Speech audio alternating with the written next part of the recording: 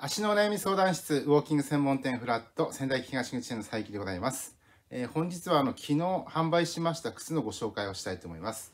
えー仙台もようやく雪が降りまして、えー防滑シューズ、えブーツ見に来る方が増えました、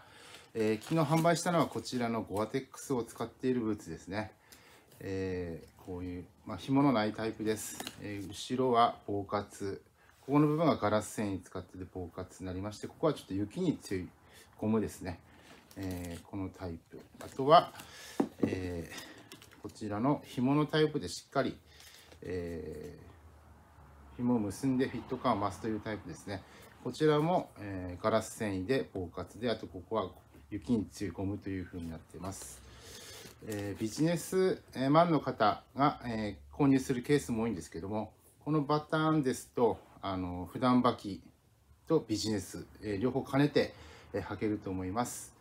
えーこういったブーツ今、えーフラット東口店の方で数多く展示しておりますのでぜひ見に来るだけでも構いません、えーご来店いただければと思います。皆様のご来店お待ちしております。